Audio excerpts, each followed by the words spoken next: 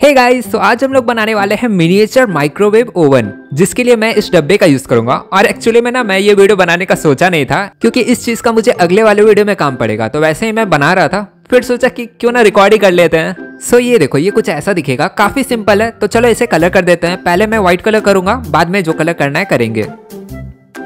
सो अभी अंदर व्हाइट ही रहने देते हैं, और बाहर के साइड में ब्लू कलर कर देता हूँ। और ये वाले फ्रेम में येलो कर देते हैं, काफ़ी अच्छा कॉम्बिनेशन है।